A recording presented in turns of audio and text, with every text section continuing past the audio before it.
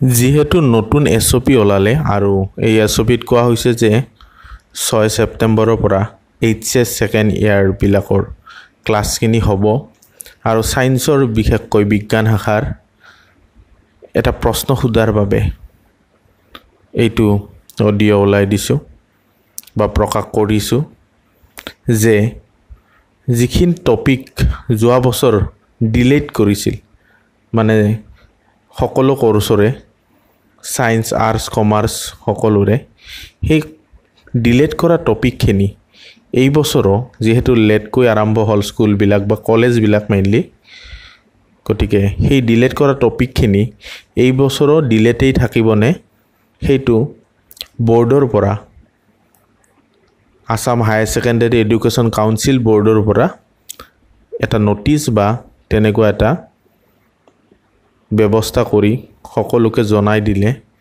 যিখিনি ডিলেট কৰা টপিক আছিল টুৱেণ্টিৰ বাবে দুই হাজাৰ বিছ চনৰ বাবে সেইখিনি আকৌ ডিলেটেই আছে নে নাই সেই টপিকবিলাক সকলোকে ৰাজহুৱাভাৱে ছাত্ৰ ছাত্ৰীৰ সুবিধাৰ বাবে জনাই দিলে।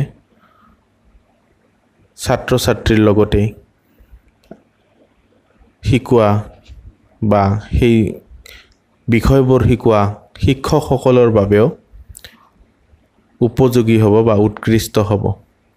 এইখিনিয়ে ক'ব লগা আছিল।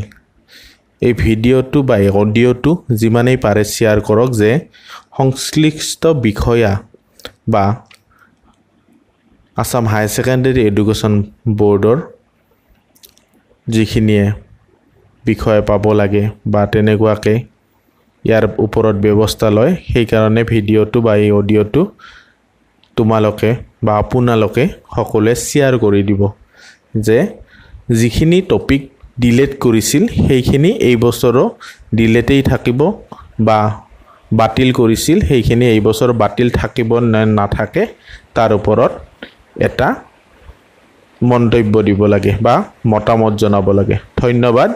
জয় আই অসম।